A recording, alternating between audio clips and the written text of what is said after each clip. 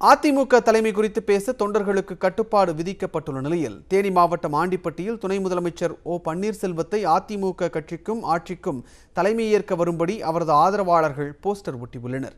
அதிமுகவில் ஒற்றை தலைமை கோரிக்கை விஸ்வரூபம் எடுத்த நிலையில் அக்கட்சியின் நிர்வாகிகள் ஆலோசனை கூட்டம் சென்னையில் நேற்று நடைபெற்றது. அதில் கட்சி நிர்வாகிகள் ஊடகங்களில் பேசுவதை தவிர்க்க வேண்டும் என்றும் கட்சி தலைமை குறித்து யாரும் பேசக்கூடாது என்றும் கட்டுப்பாடுகள் விதிக்கப்பட்டன.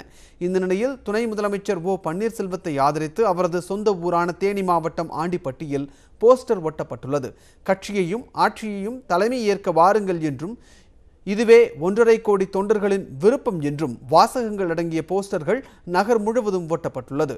அதிமுகவிற்கு தலைமை ஏற்க வரும்படி எடப்பாடி பழனிசாமியை ஆதரித்து சென்னையிலும் செங்கோட்டையினும் ஆதரவாக காரைக்குடியிலும் நேற்று போஸ்டர்கள் ஒட்டப்பட்டிருந்தன. இதற்கு பதிலடியாகவே ஆண்டிப்பட்டியில் ஓ பன்னீர்செல்வத்தின் ஆதரவாளர்கள் போஸ்டர் ஒட்டியதாக தெரிகிறது.